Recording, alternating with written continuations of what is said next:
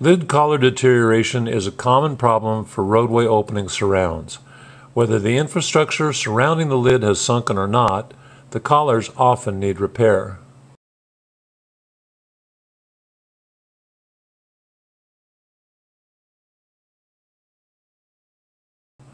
The process demonstrated up to this point is typical. The old collar material has been removed, the lid frame structure has been leveled, and new concrete has been poured in its place. This is where the Polylast roadway repair system revolutionizes the repair process.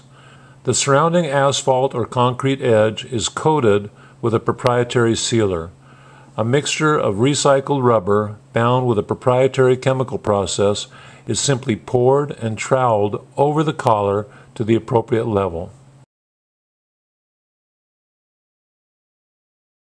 Once the Polylast product has been smoothed at the desired level, water is sprayed on the surface to accelerate the curing process. From start to finish, the Polylast roadway repair systems process reduces traffic restrictions from the normally required 7 or 8 hours to approximately 3 hours. Additional benefits include the fact that the repaired surface is virtually indestructible also, the Polylast blend acts as a cushioning shock absorber, which helps protect the infrastructure. Finally, when the roadway is resurfaced in future projects, additional Polylast material may be added to the existing lid and collar surface, virtually eliminating the need for expensive infrastructure work.